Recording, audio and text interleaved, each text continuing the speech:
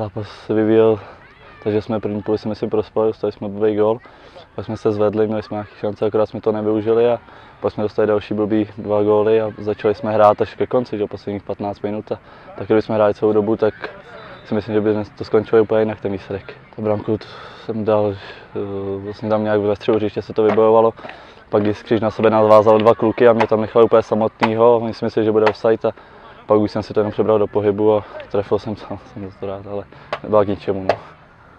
No, tak eh, my jsme přistoupili ze začátku k utkání velice laxně, protože eh, soupeř nás přehrával a brzo jsme dostali branku, museli jsme dotahovat.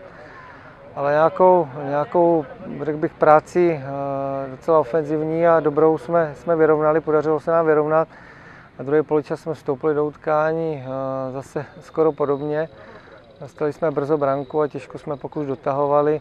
Řekl bych, že soupeř hrál velice disciplinovaně. Vycházel z nějakého obraného bloku, chodil do breaku a, do breaku a hrál, hrál směrem dopředu velice dobře. No. Měl, měl tam velice rychlý hráče, kteří nám tam dělali problémy vzadu.